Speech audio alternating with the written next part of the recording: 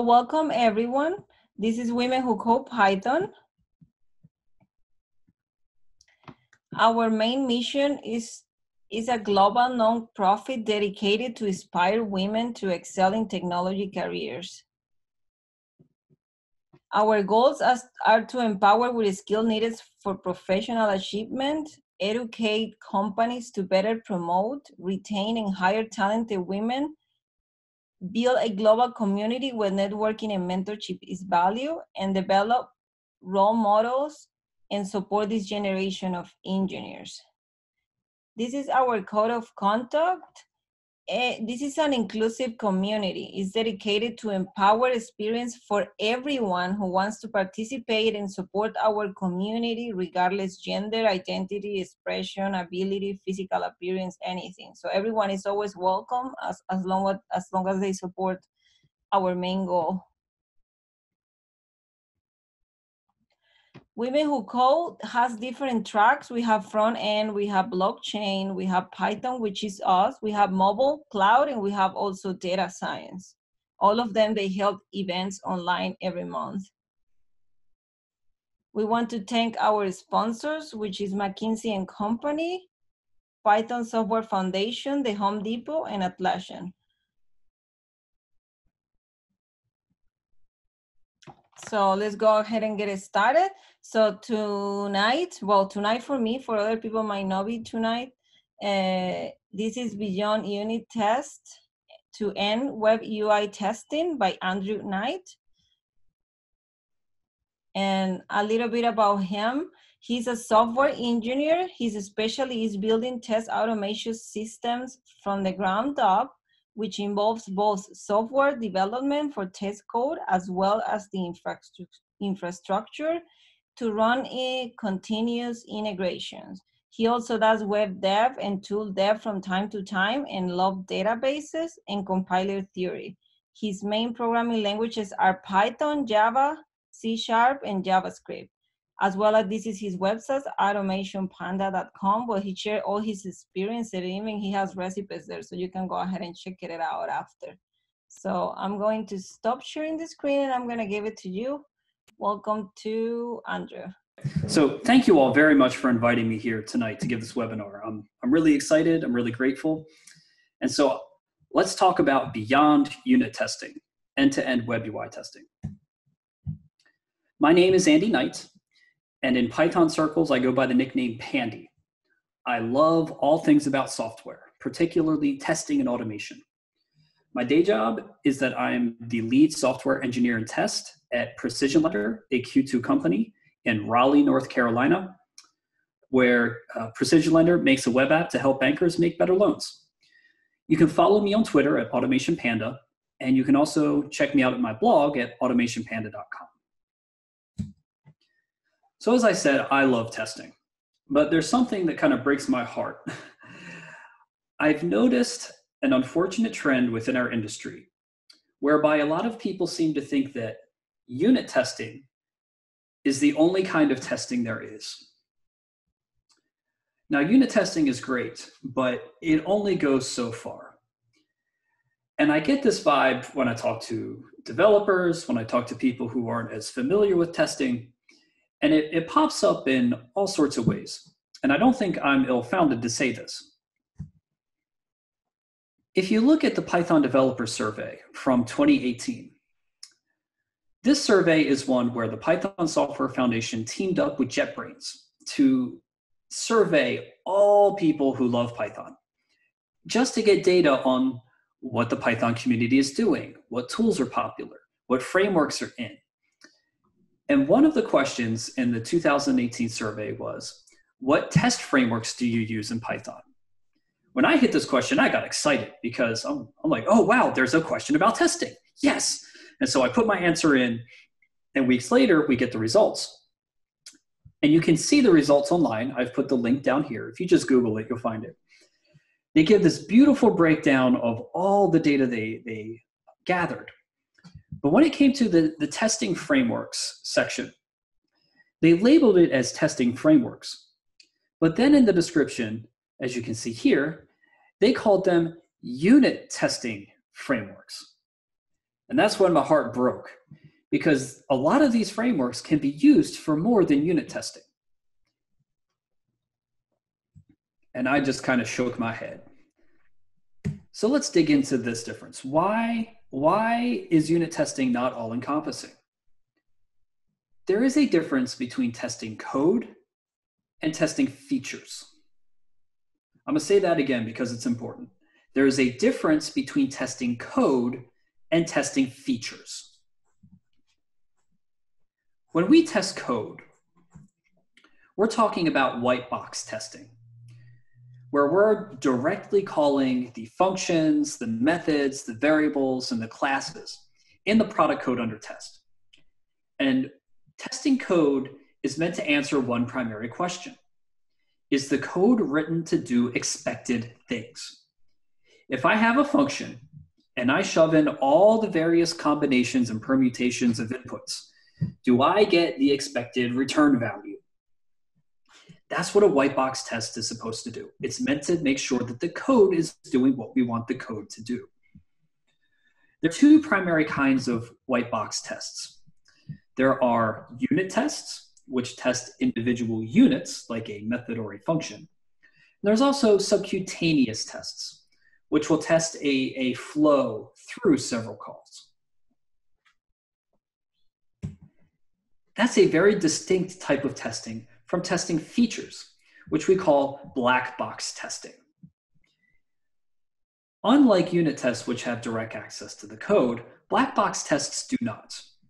Instead, black box tests are interacting with a live version of the product. That could be a web application loaded up in Chrome, or it could be maybe making REST API calls to a service API and checking response codes and response bodies. The purpose of a black box feature test is to answer the question Does the product meet the requirements? This is more like a user driven type um, test or a, a, an end user verification right? This is where our integration tests and our end to end tests come. We're putting a real live version of the thing out there and we're trying to interact with it like a user. And we're trying to make sure that this feature or this product delivers on its business value and functions appropriately. Not to look at to see if a function returns the proper value, to make but rather to make sure that the feature works as we intended. So, two very different kinds of testing. So, in this webinar, we're going to look specifically at Web UI testing. What is Web UI testing? Well, it's a black box type of testing for a web application through a live browser. We consider this feature testing because it tests the app like a human user. Web UI tests will log into your application, they will click buttons, they will um, scrape text, navigate through pages, all that kind of stuff. we also would call web UI testing end to end because it needs all the parts of the web application to be exercised together. Right? A web application is a fairly complex system. You have the JavaScript and HTML and CSS on the front end. You have your backend service layer. You probably have a um, web server and maybe a load balancer in between. You have the browser itself. And then you probably have databases and persistence layers way, way down the stack. So all that needs to be there in order to do a true web UI end-to-end test. Oops. Since web UI testing is expensive, we want to make sure that we focus our efforts on good return on investment. Like we saw before, there's that big difference between testing code and testing features. Usually, unit tests are very low level, they're very short. The average unit test is probably single digits in line length. They'll test a very small function or method, and there are there should be no dependencies.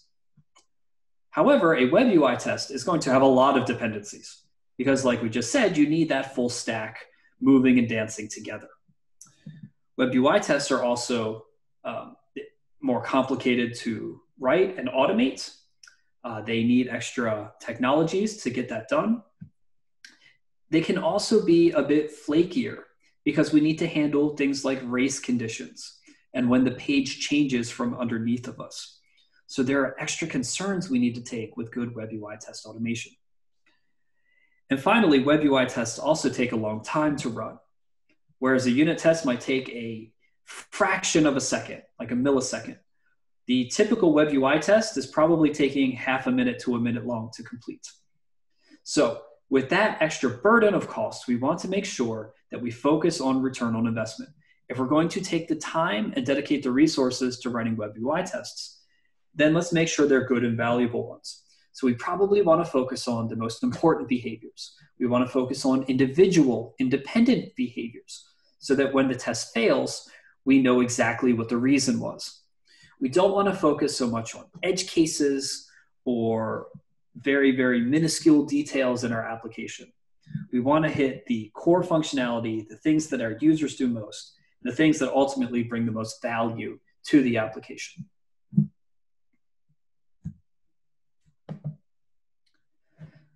So even though web UI testing can be hard because it is a bit complex, let's make it easy by the power of Python. Here's what our solution for a test automation solution will look like. We must recognize that test automation is a special domain of software development, right? Just like we develop web applications and microservices and command line tools, test automation needs the same best practices. We should have code reviews. We should apply design patterns. We should try to avoid repeating ourselves in the code. We should make sure that things scale. And so all those practices will apply to test automation here. Our language of choice for today will be Python because this is Women Who Code Python, and Python is an amazing language. I absolutely love it. Our core test framework will be PyTest. PyTest is not only one of the most popular test automation frameworks in Python, but in my opinion, it's also one of the best test automation frameworks in any major language. For our web UI interactions, we will use a design pattern called the page object pattern. And we'll see some code around that in a little bit. And finally, for our browser automation, the thing that's actually going to poke Chrome or Firefox or Safari, we're going to use a tool called Selenium WebDriver. Now, you may or may not have heard of Selenium WebDriver before, but Selenium WebDriver is the de facto standard for this type of web UI testing. In Python, you get Selenium WebDriver by the lowercase Selenium package. But WebDriver has implementations in pretty much all the major programming languages, whether it's Java, C Sharp, Ruby, or JavaScript, or even some others, I believe. What's nice is across all the different languages, the WebDriver API is fairly standard.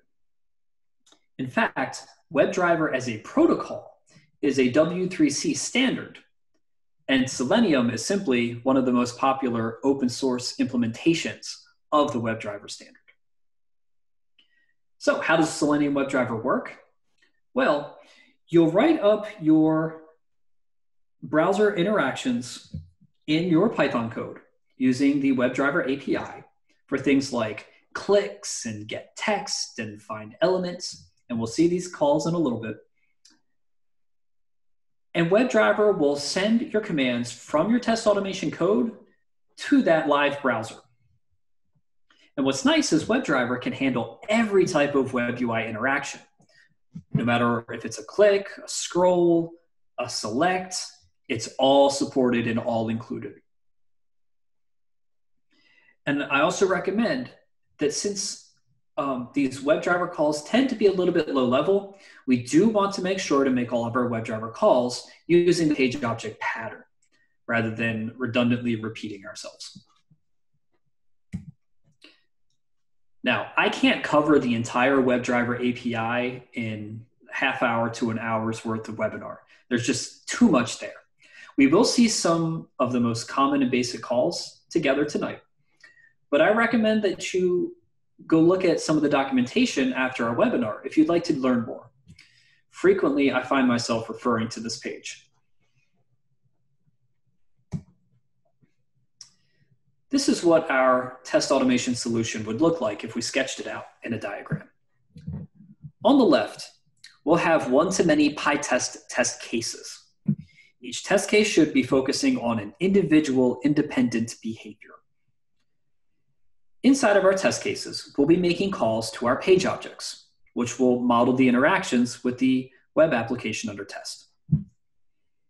Inside page object methods, we'll be making WebDriver calls. And so the WebDriver bindings for Selenium will then call out to this thing in the middle, which we'll call our WebDriver proxy. If we're going to do local testing, meaning testing from our local machine, we will need what's called a WebDriver executable installed on our system path. Every browser has one. For Chrome, it's Chrome driver. For IE, it's IE driver. For Firefox, it's Gecko driver. And I believe for Safari, it's built in. What this proxy does is it will receive calls from your test automation and then communicate those calls to the live browser under test. So it'll wake up Chrome and it'll send it that click. And then once Chrome makes the click for you, it'll send the response back through the proxy and then back to your test automation. Now, you can also do WebDriver remotely. After about two or three concurrent tests on your local machine, you'll find it probably maxes out and slows down a lot. But there is this tool called Selenium Grid that lets you move your web drivers off to remote machines. So that way you can massively parallelize your tests. Maybe you can run 10 tests or 20 tests or even more tests, all simultaneously. And furthermore, Selenium Grid lets you configure multiple operating systems with multiple browser types and multiple version levels. You can choose to set up Selenium Grid by yourself. It is a free and open source tool. Or you can also choose to pay for it as a service. Companies like Sauce Labs or BrowserStack or cross browser testing or Lambda Test all provide Selenium Grid as a service so that you don't need to maintain that infrastructure. You just make requests from your test automation to get browsers that you want. So, with all this head knowledge and background information, let's write a basic web test together. In this webinar, we're going to write one test case from top to bottom. And then after this webinar, you can take that code and extend it with more tests. I always, always, always recommend write your test steps before you write your test code. A lot of people will try to jump right into test automation code at the beginning, and then they'll write a steaming pile of crap that is no good because they didn't think before they coded.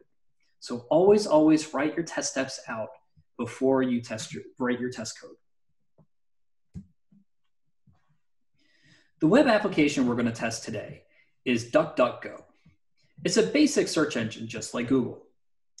You type in your search phrases, and then you'll get result links. The reason I've chosen DuckDuckGo for us to test tonight is for three main reasons.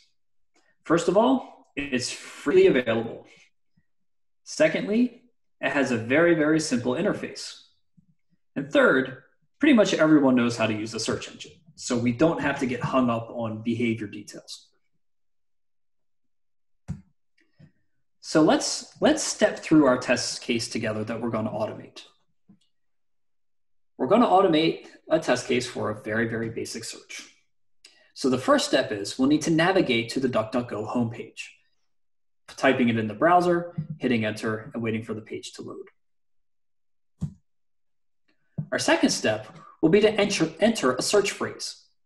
Here I'm entering panda as an example. Once we enter that search phrase, the results page will appear with all the links. We'll need to make a few verifications on the result page to make sure our search was successful. First of all, we will verify that the query in the title matches our search query. Next, we'll make sure that the query is in the search input on the results page. And finally, we'll make sure that all of the results somehow pertain to our search query. This is probably the most important check because we want to make sure we're not getting garbage for search results. Now, this is a very, very simple test. You may be wondering, well, is it even worth doing this kind of tests if it's so simple? And I would argue yes, because sometimes even the most basic tests are the most important because they'll give you the clearest feedback for problems when they fail. If we can't do a search, a basic search with our DuckDuckGo search engine, then almost nothing else is going to work with DuckDuckGo. So it's, it's a very, very valuable test, even though it's simple. And furthermore, if we wanted to cover other behaviors, such as maybe clicking links or taking image searches, then we would write separate test cases because we want each test to be as atomic and individual and independent and singularly focused as possible. Keep things simple. Now that we have our test case steps, let's start to code them up in PyTest.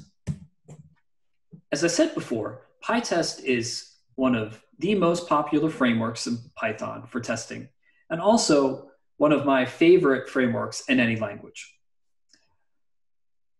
PyTest is awesome because it is Pythonic. It is simple, it is concise, yet it is powerful and flexible. Here, I've taken a screenshot from the PyTest docs homepage. And you can see here, this test answer is a very, very simple test case. It's a function, not a class or a method. It's prefixed with test underscore. And it simply calls things and makes assertions. That's all there is to PyTest. If you were to put this in a module, PyTest would discover it, execute it, and report that this would be failing because 3 plus 1 is not equal to 5. Just like with Selenium, I'm not going to go into too, too much deep detail about the PyTest framework itself, but I will point out things when we go through the code together. If you want to learn more about PyTest, I recommend, first of all, reading the Docs online. And if you want a deeper dive, then I recommend one of these two books. Python Testing with PyTest by Brian Okken is the PyTest User's Manual. Well, de facto.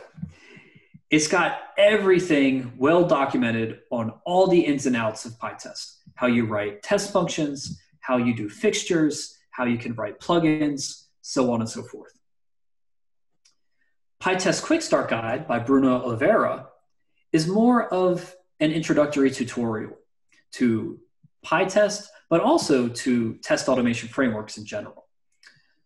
So both books are excellent. I, I, stand by both of them. I've read both of them myself. So you won't go wrong with either choice. When we go to write our test case in PyTest, we'll need to write, we'll, we'll need to create a tests folder. And in that test folder, we'll need to create a Python module named test underscore something. And in our test module, we'll need to add our test underscore functions.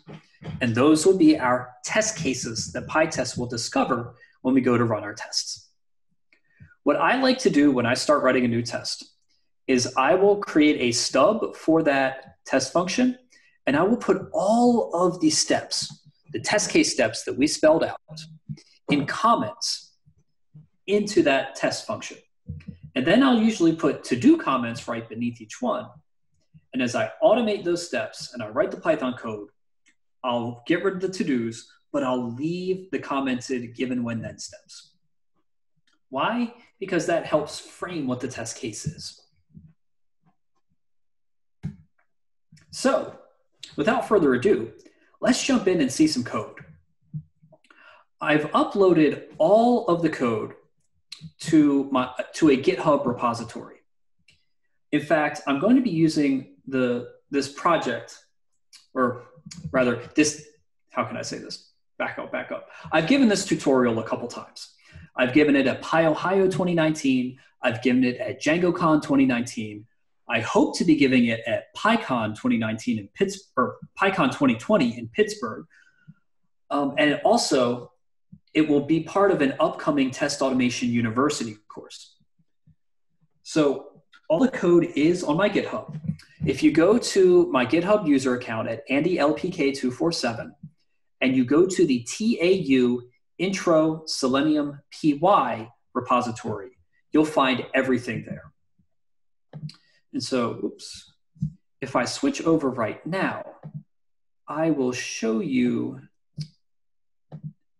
the GitHub repository here, TAU intro selenium py. If you go to the master branch and you go to the README, you'll see that this repository itself is meant to be a tutorial.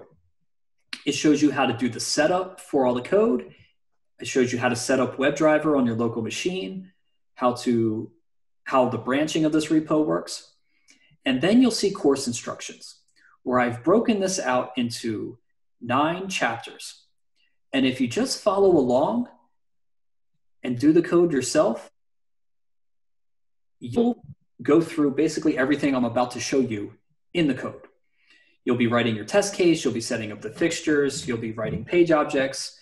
And this tutorial goes even further than we'll go tonight by showing you how to do browser config files, how to handle race conditions with um, multiple browsers, and then also how you can use how you can do parallel testing rather than running tests one at a time. So this repo will be part of my upcoming Test Automation University course, but you can start using this README today and using the code. There's example code in every single one of the branches lined up with every single one of the steps in the course. So I hope that helps. Let's get into the code here. So I'm using Visual Studio Code for my Python project here. And I hope the text is going to be big enough. I've enlarged it. So I have my project, Intro Selenium PY, and I have it open to the, the um, sixth chapter in the course, just to keep things simple. I want you to take a look at this project layout because project layout is very important for Python projects. Oops. Oh gosh. Okay, let me close all this down. So whenever we make Python, or whenever we write PyTest test cases, what we should do in our project root directory is create a tests folder. And in here is where we'll put our test modules. I also want to point out the dependencies that our package will need, or uh, that our project will need you can use something like uh, a virtual environment and then create a requirements.txt file. But for this project, I chose to use pipenv. And when you use pipenv, pipenv install, it'll create a pip file for you, which is basically a glorified requirements.txt. The two packages that we'll need for this project are PyTest and Selenium, both of them available from pip. They'll suck in a whole bunch of other dependencies with them, but these are simply the two we need at the top level. Also, just note I'm using Python 3.8. You should be able to run this code with 3.7 or 3.6, but it's always good to be up to date. If we take a look at our test case, I have my test underscore search py module. And inside of here, I have my test function test basic DuckDuckGo search. In my code, you'll notice that I have a bunch of these things called pages. These are my page objects. I have all of my steps and comments given when and then. And then you'll notice that my page objects are making all of my different calls, even for the assertions. So let's step through this test case piece by piece. The first thing I want to draw your attention to here is the signature. We've named it well, test basic DuckDuckGo search, so that we know in the log when this test case fails exactly what the behavior it was covering is. You may also be curious to know why this function has an argument in it called browser. Whenever a PyTest test case has an argument named in it, usually that means that that is a fixture. In PyTest, fixtures are like setup and cleanup functions. They'll set th- some things up for you before the test, and then once the test is complete, it'll do some cleanup and tear down actions. So here I have a fixture called browser that I'm using. So where is the browser fixture? You could put the browser fixture in the same module, but I like to put my fixtures in a separate file called conftest.py. The conf test file is PyTest's configuration file. It's a place to put any sort of shared pieces that multiple test modules will need. And so here in my conf test py module, I've put a fixture called browser. The names must match.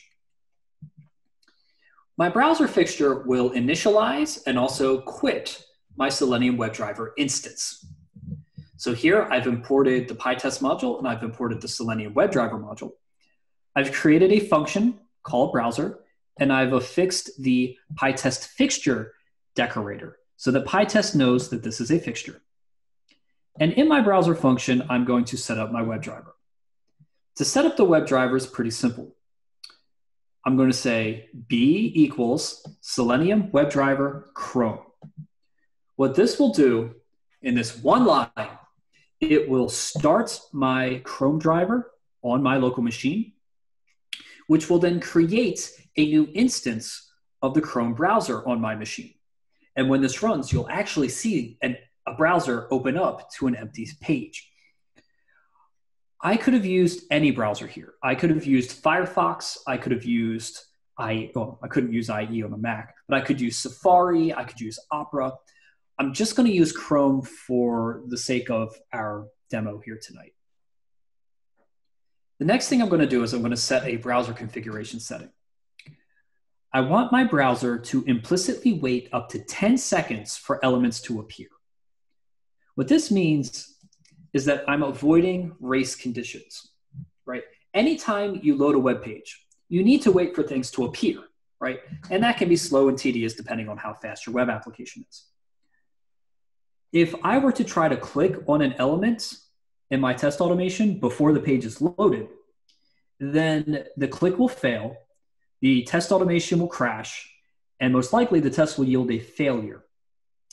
That's the worst kind of web UI race condition there is because it's completely avoidable, yet it's very, very common to hit that in the industry for those who don't code their test cases carefully.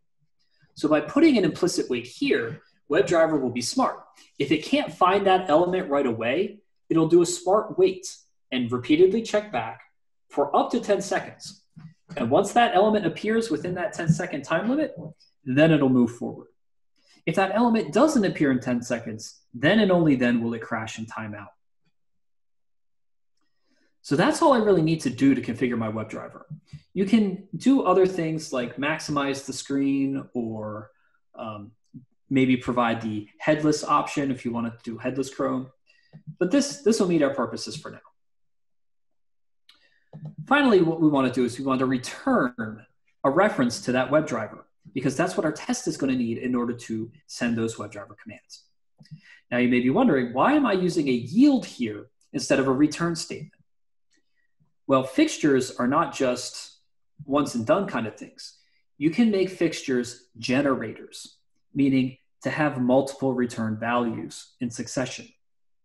If I make my fixture a generator using the yield command, what happens is anything before the yield will be executed as part of the test case's setup before the test body runs.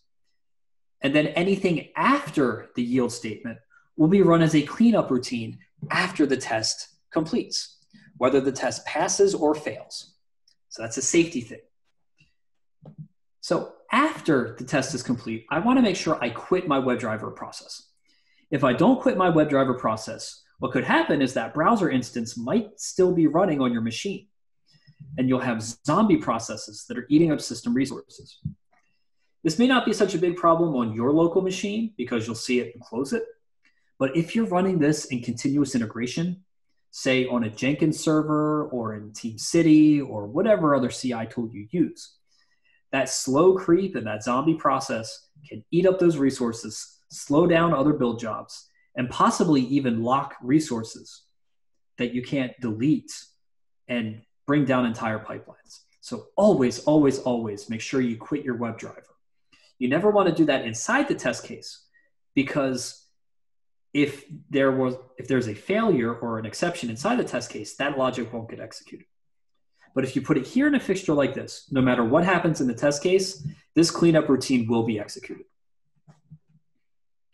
So that's a long description for a four line function, but it's very important that we understand this.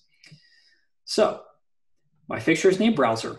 When I declare it here as an argument, PyTest, when it discovers and executes this test case, will identify this fixture, execute the fixture, and pass whatever is returned by the fixture setup into this function as an input.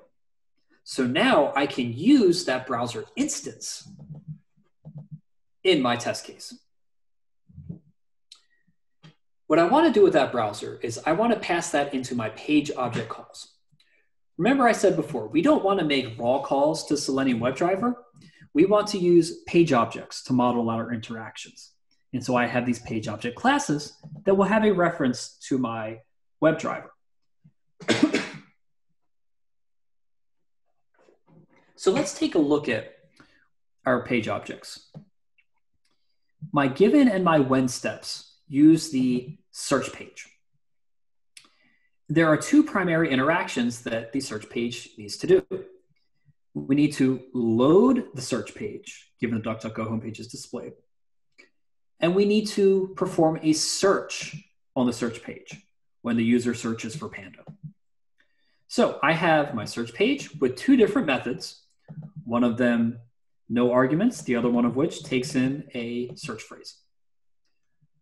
I put my page objects in a separate package.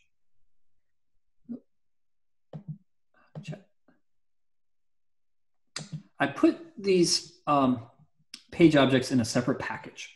And I like to do that because um, it makes them more reusable. So here I have a pages package. You might want to name it a little bit better if you have a larger test project, but since this is small and, and trivial, I shouldn't say trivial, since it's a much, much smaller project used for teaching, Pages is probably a, a decent name. It has an init.py file to denote that it is a real package. And I've got my search module and result module, each of which has the respective page object. So close that out. My search module has my DuckDuckGo search page. I'm importing some things here from the Selenium WebDriver API. And the structure of a page object is fairly straightforward. We'll have locators and other variables. we'll have an initializer method, or, uh, method that will take in a reference to the WebDriver and store it. That's the self.browser. And then we have the interaction methods. So these methods were what were called from our test case. The load method oops, is going to load up the web page. The call to do that is simply self.browser.get. Now I'm going to pass in the URL to the DuckDuckGo homepage. And that's all there is to it. This will load up that page. Note that it won't wait for the page to be fully loaded. It simply initiates the loading of that page. The search method is a little bit more interesting. What the search method needs to do is it needs to find the search input elements and then send the search phrase to it that we passed in. So two steps here. To find an element, we're going to say self.browser.findElement. And we need to pass in what we call a locator. A locator is a query that will try to find the web element on the web page. My locator here is this search input tuple. I like to put my locators at the top as class attributes. I like to put them in caps to denote that they are um, supposed to be immutable. And I like to write them as tuples because a locator has two parts. It has a locator type, that's given by this by, and it has a locator query. So if I want to find the search input, I want to find it by the ID search form input homepage. You may be wondering where I got that from. If I go to the DuckDuckGo homepage myself, anytime I want to look at the source code of a page, I can right click on any element in Chrome and go to inspect. Inspect will open Chrome's DevTools. And you'll see that element that you clicked on will be highlighted here. You, if you try to hover over other elements, you'll notice that the page highlights correspondingly with them. Furthermore, if you want to take new elements on the page, if you choose this cursor icon up here, you can highlight elements here and then they'll go to wherever they are in the source code. So I want the search bar and I'll notice it's this element here. It's an input element with ID, class, all these kinds of things. I like to use IDs whenever possible because they're simple locators and they're unique on the page. So that's how I got the ID search form input homepage for this search bar. In fact, let me see if I can make the text a little bit bigger there. So there we go. Search form input homepage. That's how I got that locator. So I put my locator here. I make it a tuple because there are other kinds of locator types. You could look up things by class name. You could look up things by CSS selector. You could look up things by XPath. I always recommend get the simplest one that'll uniquely identify your elements put all my locators here so I can reuse them by other calls. I pass them into my find elements. I use this asterisk here to expand my tuple into positional arguments because the find element method actually takes two positional arguments, the type and the query. And when this call runs, if that element exists on the page, it will return an element object representing that element to which I can send commands. So I'm going to name that search input.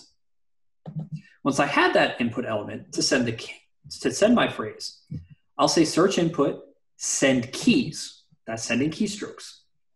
And I'll send the inputted phrase as well as keys.return because I want to hit enter after I type in so it commits the search. So there's a lot going on in this very, very simple page object class even though we only have a few lines of Python, there are some fairly, fairly complex and fairly powerful things going on. Going back to our test case, we can take a look at the result page as well. Now, the result page is used not so much for sending interactions, but rather for verifying things on the page because we want to make sure that certain things appear on our results page in order to declare our test case a success.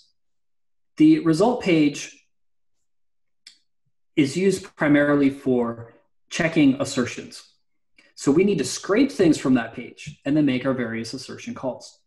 So the result page methods, things like getting the title, getting search input values, and getting link titles, will be returning values. Oops. So here in my results page, I have a similar pattern. I have locators, and here not only do I have a, a search input locator by ID, but also have an example of a CSS selector locator. I have my initializer method to store a browser reference. And then in my interaction methods, I'm going to be trying to getting things and returning them. So when I get my title, that's easy. Self.browser.title send it back. When I want to get my search input value, I'm going to find my element for my search input. And then to get its text value, I'm going to say search input get attributes value, and then return that text-based value.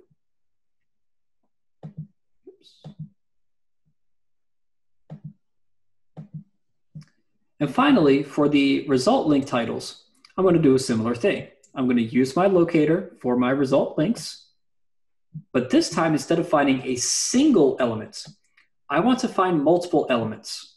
Find elements plural. It's possible for a locator to return a list of elements instead of just one, because I want to check every single one of those links. So again, I pop in my locator, and I'll get a list of links. Then what I want to do is I want to get the textual titles from those links. I don't want the link objects themselves. So I'm going to do a basic list comprehension here. My titles will be link.text for each link in my list of links. I'm basically doing a mapping here. I'm saying, you know, just convert your list of links into a list of those titles by getting their text attributes. And then return that list of titles.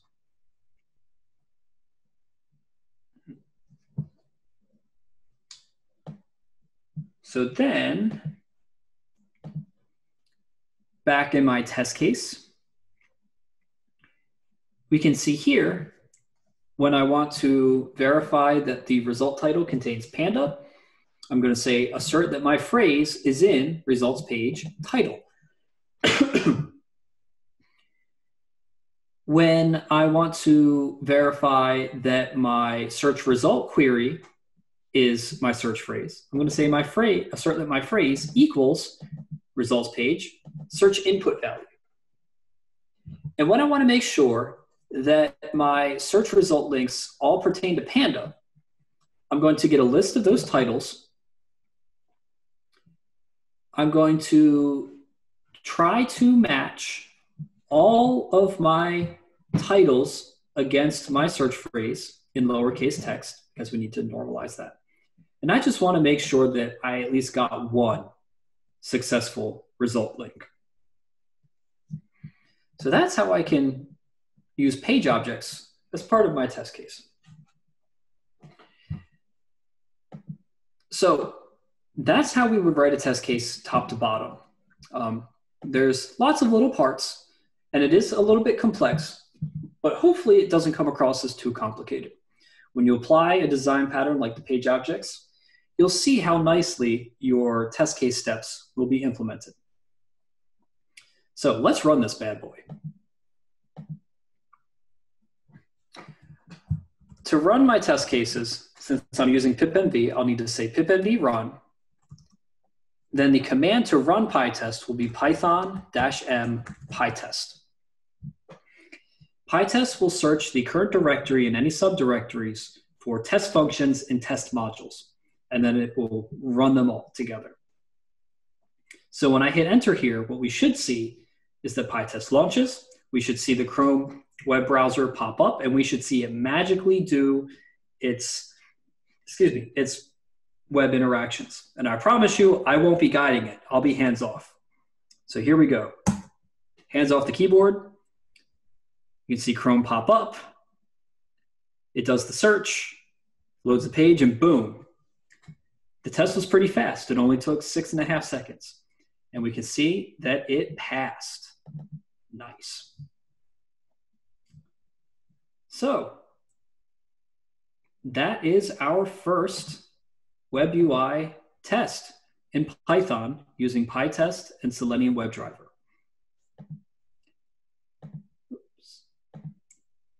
If you want to learn more, like I said, I recommend this um, tutorial in GitHub, TAU Intro to Selenium PY, and just follow the README instructions. Once you do all that, if you want to keep practicing, I recommend trying some independent exercises. If you set this up, you will have the starting point of a Python test automation project that you can extend with other tests. So here are some ideas for other tests you can write on your own. Maybe you want to search for different phrases. Maybe you want to do an image search or a video search. Maybe you want to verify autocomplete suggestions pertaining to the search text.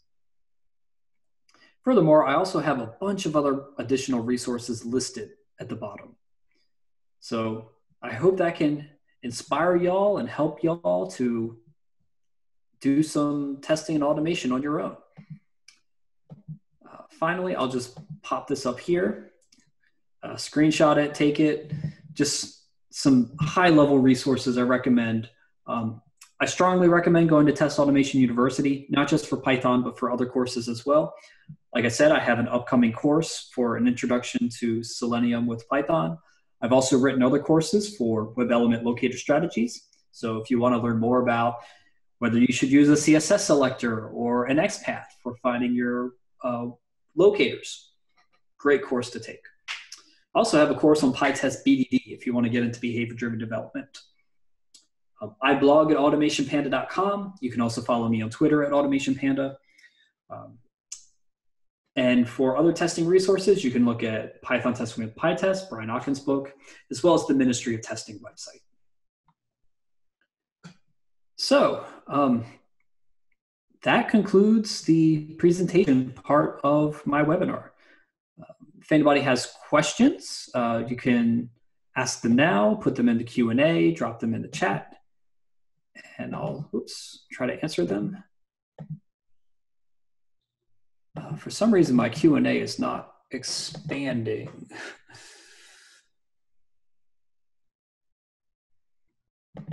oh gosh. So we have two questions is here. I can read okay. you. Sure, sure. Thank you. Uh, one says, "Is it similar to QA?" Sorry, what? It says, "Is it similar to QA?" Is is what similar to QA? Um, we might have to. We need uh, the person to probably explain a little bit more that question. And okay. then the other one says, "How big should a test case be?" Oh, that's a great question. How big should a test case be? I always recommend make a test case as small as you can because smaller tests are more maintainable and more focused. Uh, the, the test case you saw that I wrote, uh, let me pull it up again. Uh, is my screen still presenting? Yes. Okay. So can y'all see the the code again?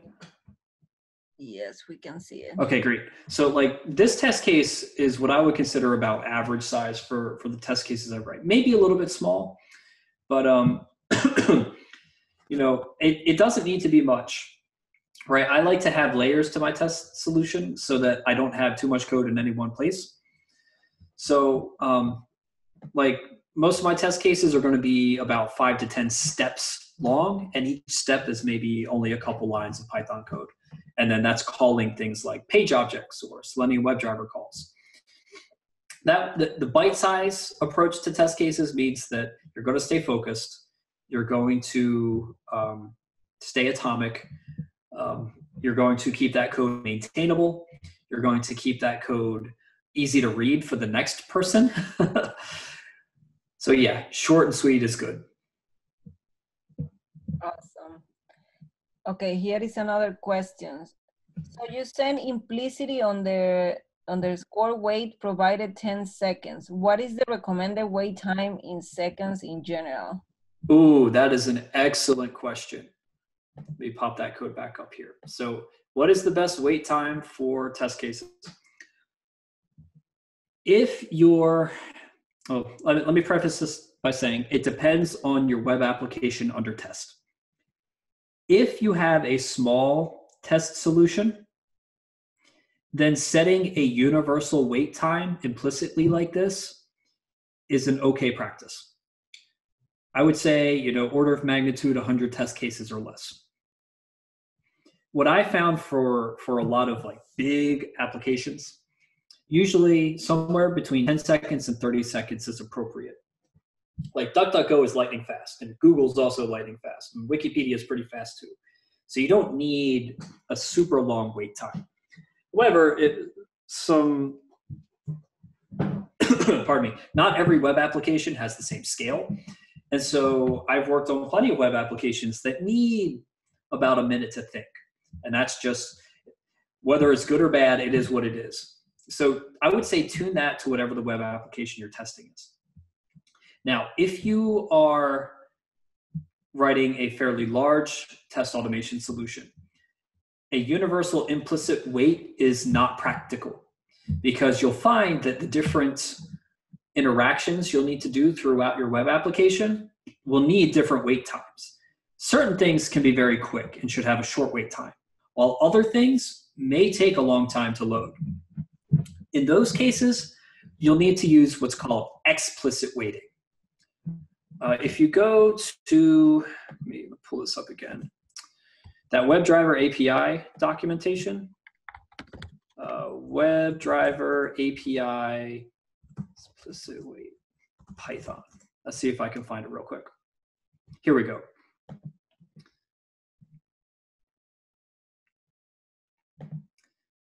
So this page will explain the difference between implicit and explicit waits. So here at the bottom, it'll show the implicit wait, which I showed in my example code. But it'll also explain what an explicit wait is and how to do it.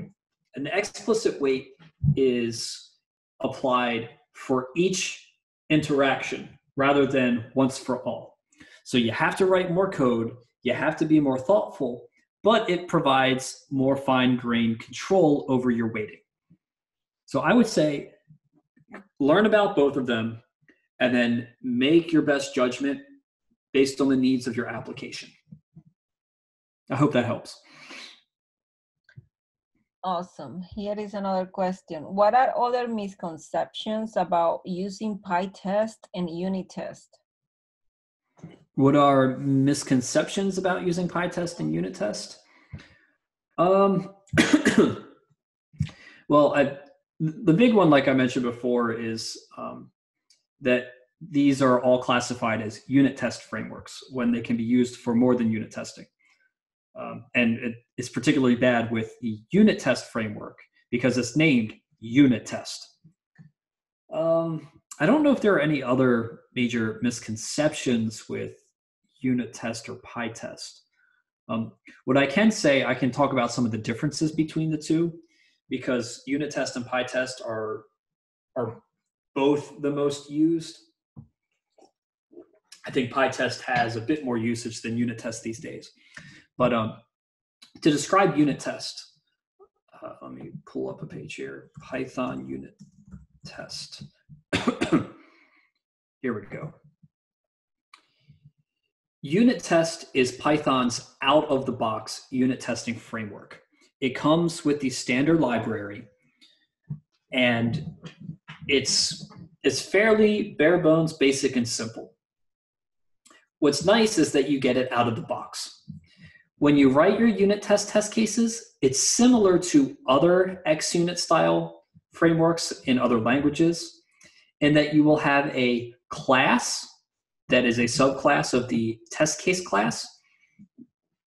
And each test method inside of this test case class is a test case.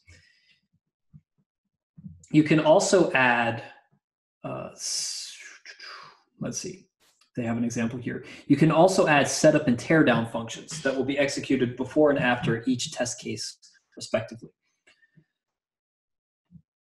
Personally, I think PyTest is better than unit test, even though PyTest is a third-party package, because PyTest is more flexible and more concise. I don't like this model of writing classes for test cases. I think writing functions for test cases is, is much more in line with what a test case should fundamentally be. And we don't need these setup and cleanup methods because we have fixtures. Uh, one problem I have with setup and cleanup methods is that they are limited to the scope of the class in which they're contained. Fixtures can be used by any test case, anywhere in your project. They're not limited in scope by a particular containing class. Uh, you don't need to mess with inheritance either, which makes your functions much more flexible in PyTest. So both both are decent. I mean, don't feel like using te- don't feel like using unit test is wrong necessarily. I just think PyTest is a whole lot better. Oh, and another thing with PyTest is that it's extendable with plugins. Unit test does not have a, a plugin capability, whereas PyTest does. You can write all sorts of plugins for PyTest for things like doing code coverage or generating HTML reports or writing your test cases in Gherkin with PyTest BDD or parallelizing your tests with PyTest XDist. So PyTest is just much, much more flexible and extendable than unit test. Awesome. Thank you. We have a couple more questions. Keep them coming. What about testing data visualizations? Testing database. No, data visualizations.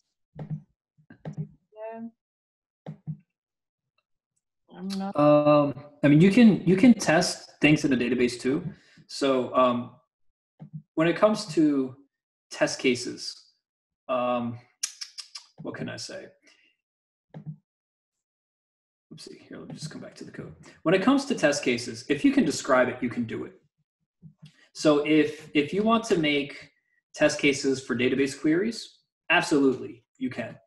Uh, if you want to make um, test cases for database triggers, that might be a little bit more complicated. I don't, because triggers are usually something that are like inside the database.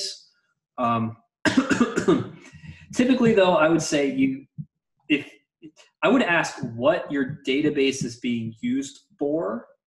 Um, are you are you using a database behind a service layer, and then all of your requests are coming through that service layer and only that service will ever access the database.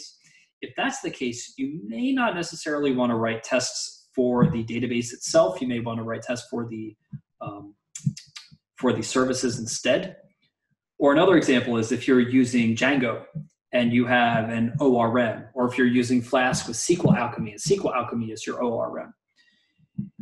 You don't necessarily need to test the database directly because Django and SQL Alchemy, I'm sure, have plenty of unit tests that cover uh, the making sure that the database works correctly with your ORM, so that you can just simply test your data models instead. Uh, if you're talking about database visualizations, um, I would say, okay, well, however, whatever software is um, doing the visualization for you, I'm sure you could find a way to test that. Typically, I'm not a big fan of testing visuals with automation because visuals can be kind of hard to codify. Though there are now tools like Applitools that can do visual testing for you. Awesome. And let's see, from your experience, any significant differences when testing different web frameworks like Django, Pyramid, and Flask? Ooh, that is a great question. So, um, when Python has some awesome web frameworks, I've done extensive work in Django. I've not done Pyramid, but I know about it, and I've touched Flask, and it looks pretty cool.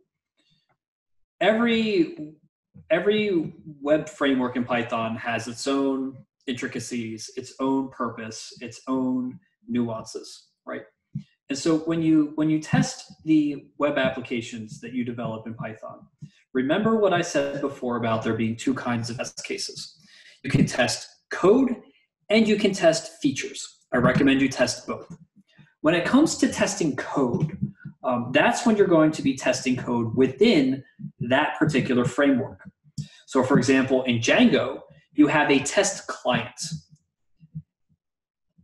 that test client can do things like testing models, testing views, basically creating a dummy server for you and providing content to it with a test, a temporary test database that gets torn down after the tests, right? Um, I don't know if Flask has any testing stuff out of the box, but I'm pretty sure there's probably, I'm pretty sure there's a, a PyTest plugin for Flask where you can test things there. So those are the kinds of things you would want to use when testing the code within your framework. Doing your unit tests, testing your utility functions, and then using whatever tools the framework provides for testing. When it comes to doing the black box end-to-end testing of, let's say, you know, bringing up the web application in Chrome or Firefox, you would do exactly what I showed you tonight with Selenium. Selenium WebDriver based tests, like the ones we saw here, don't care what the underlying web framework is. You could be doing something in AngularJS, total mean stack, all JavaScript. You could be doing something entirely in Django with statically delivered pages. You could be serving up a hybrid solution. Selenium doesn't care. All Selenium does is interact with the elements that are displayed on the page. So however those elements got there, whatever generated that, that HTML and that CSS, Selenium can handle it all.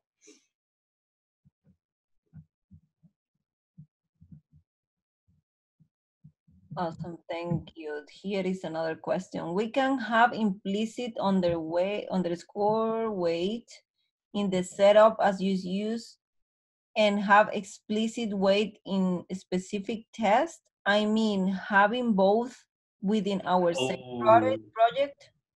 Yeah, oh, that's that's a great thing to bring up. Unfortunately, as a best practice, you should never mix implicit waits with explicit waits. That, that comes directly from the Selenium project maintainers. They recommend very, very much that you do not do that.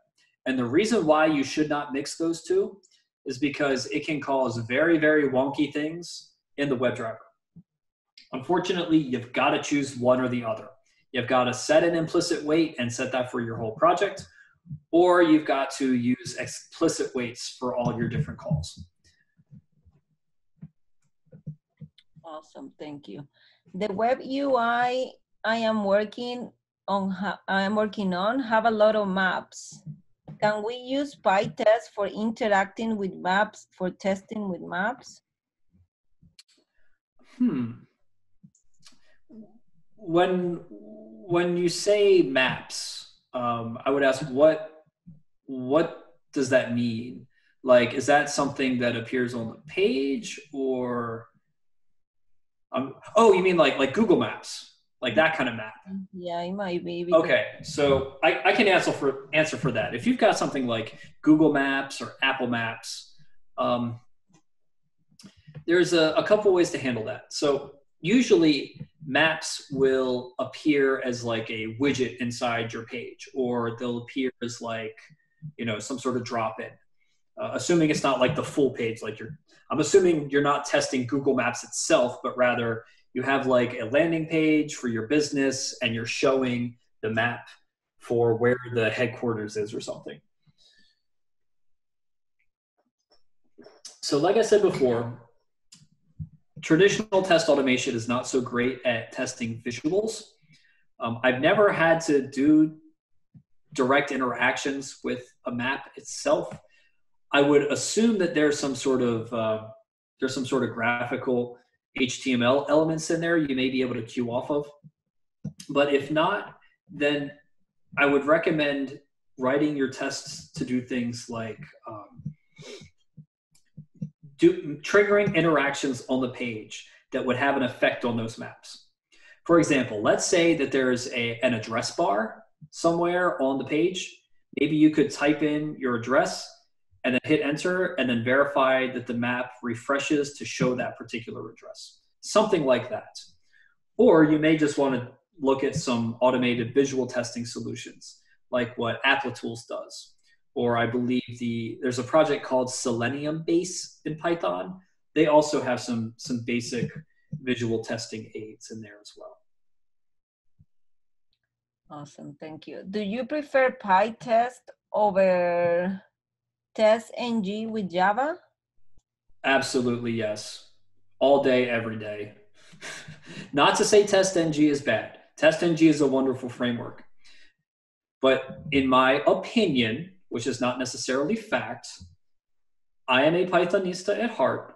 I love Python. I believe Python is the best, uh, the best language for test automation out there right now, and I believe PyTest is the best test automation framework free open source test automation framework in any major language right now. Awesome. What are some test cases that new programmers forget to include for Django web applications? Hmm, common test cases that people overlook. Well, if we're talking about Django specifically, and we're talking about testing code before we talk about testing features. A lot of, um, first of all, some people just don't write tests at all. so if you are if you are trying to write some tests, that's the first good step. Um, common tests that people will forget will be things like um, in Django, testing any methods that you add to your data models, or um, making sure certain things appear in your views, or testing some utility methods or filters, right? another thing I can say is in a lot of frameworks, people will um, people will use the framework just by itself, and they won't try to add any extra design or patterns in there. So they'll just cram all of their code into like action methods or into um, you know view functions or something instead of thinking, well, maybe I should have a library for this. Maybe I should have a class with a module or something. So thinking along those terms, I would say design your application well and then apply your unit tests appropriately wherever you're adding custom logic. Now, when it comes to the feature level for tests, um, things that people commonly forget, hmm, that's that's a tricky question because it's so based on context. Um, the things that people forget are often kind of like you know obvious edge cases not like you know weird hunkered down edge cases but things like hey you know if you close this particular uh, tab can you reopen it or um, things like if you if you save this data and then reload the page make sure that it comes back the way it was saved stuff like that people kind of overlook things that get taken for granted that maybe should not be that's what I would say. Okay, the next one is, do you define U, U testing as functionality testing? Oh, so we're gonna play the definitions game here. So um, always be careful with definitions and words whenever you're talking in the testing space. Testing is a very, very opinionated space. I would argue even more so than the developer space. So when we talk about, or when we use the phrase functional testing, I consider a functional test to be any kind of test that verifies the functionality of a feature or code by yielding a pass or fail result. It either works or it doesn't. That's contrasted from, say, a performance test, which is trying to determine if a feature works well under given conditions for given metrics, where a performance test is not a hard pass or fail, but rather some sort of metric that you're measuring. So, with my definitions, I would say absolutely yes. UI, web UI testing is a form of functional testing. I am trying to exercise behavior in my web application in a black box manner to determine if this functionality is working or not.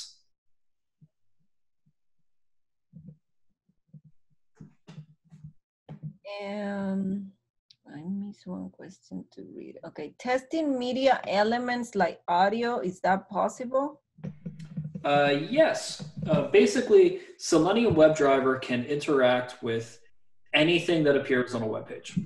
So if it's like if it's some sort of like drop in for an, a media element that has like an HTML tag or something, uh, you can you can interact with it. Um, I going back to the maps question earlier. Like I mean, if if there's any elements in there, then yeah, you can. If, if something's exposed, you can interact with those elements as well. Now, you may not be able to, um, or it may not be easy to interact with everything on the page. Um, right? for example, like a, a, basic button on a page is going to have like an input element or a button element or some sort of hyperlink element in the HTML. And you can write a locator for that element you know, by ID or by CSS selector. And when you get that element, you can say element.click. For some more complicated stuff, you may have to end up doing pixel math. Uh, like with the maps, like I've never done anything with maps, so I'm really not 100% sure. But in the worst case scenario, in Selenium, if you need to, you can you can drop the pixels and try to mess around with that, or you can drop to raw JavaScript and manipulate things that way. Those are typically not best practices because they tend to be very fragile. So anytime you find yourself in that situation, you may want to ask yourself, is that test case worth automating? for the amount of effort I'm going to put into writing the Python code for that, figuring out all the intricacies of Selenium WebDriver, and then maintaining it in the future when it inevitably breaks. Is that worth the effort I'm putting in in terms of return on investment?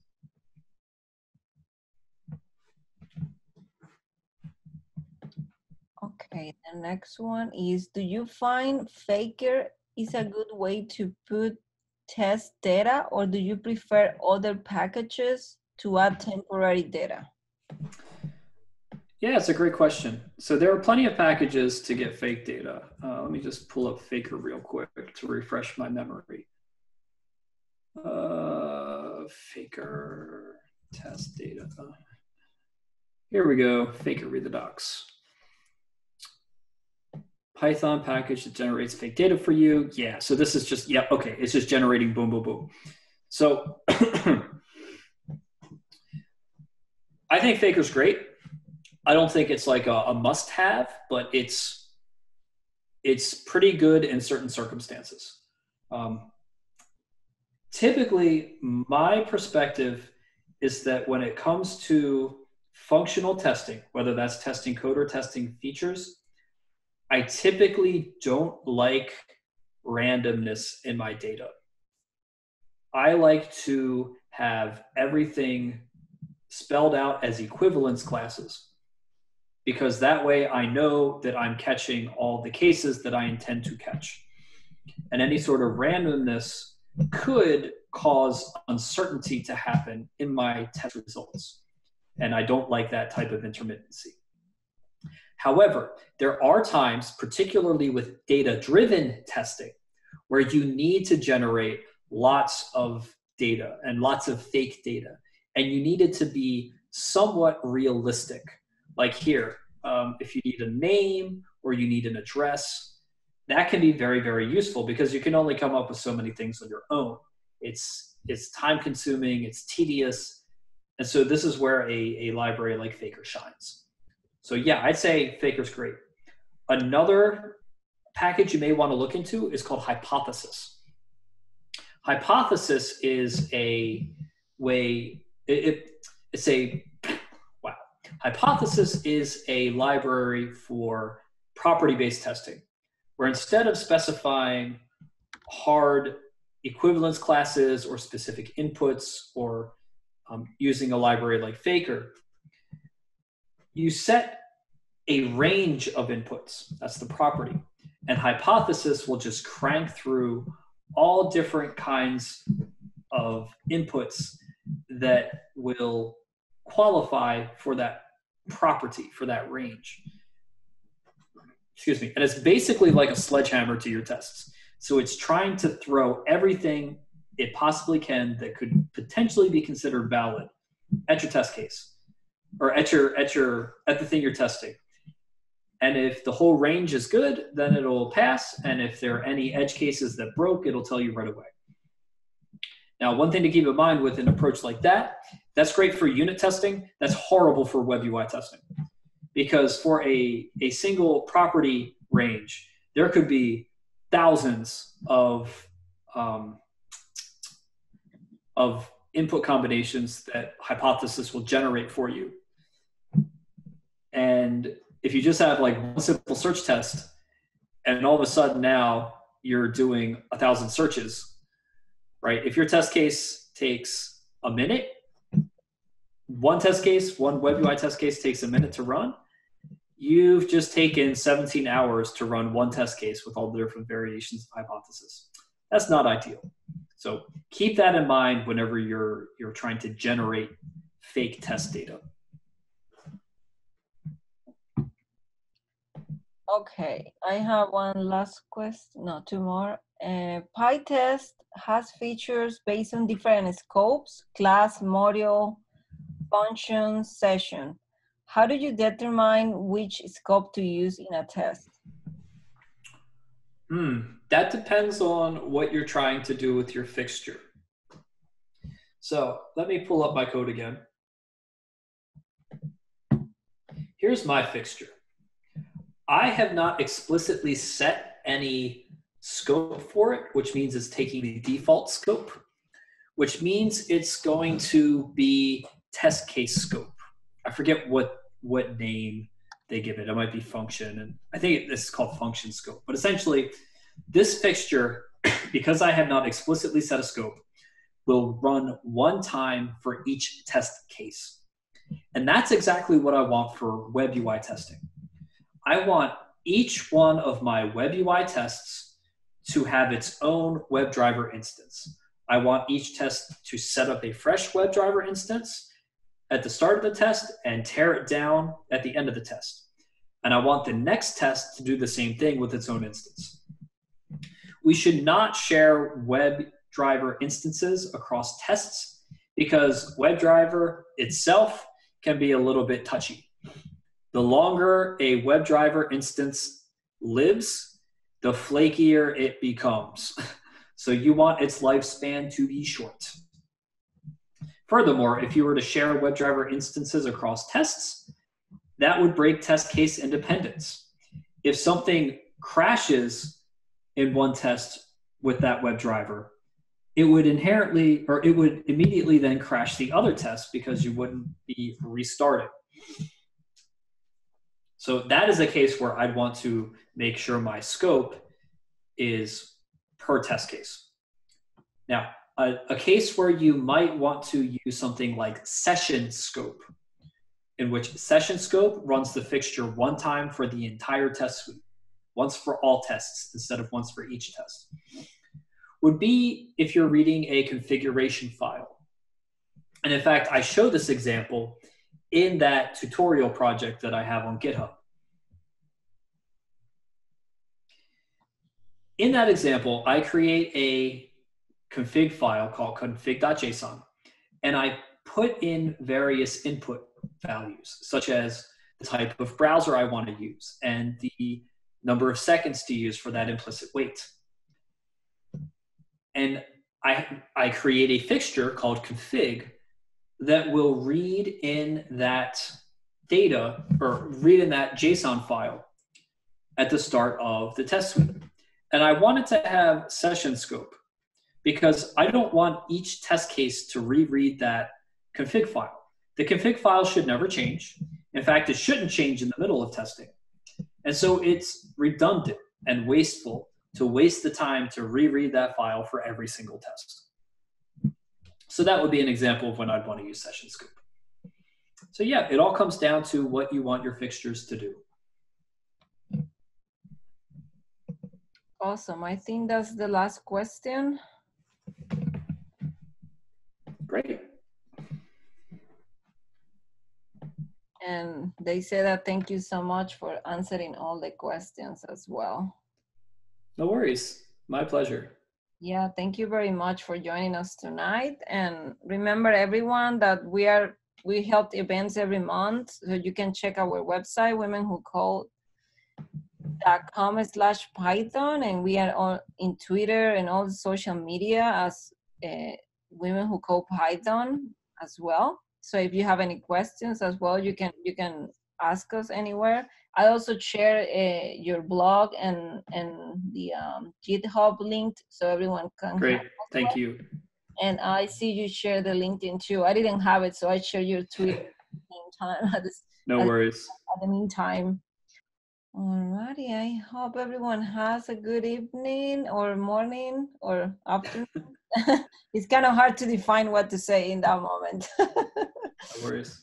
Yeah, thank you everyone for joining and thank you for inviting me. This was quite a lot of fun. I hope this was helpful. Yeah, for sure. Thank you very much for giving us your time tonight.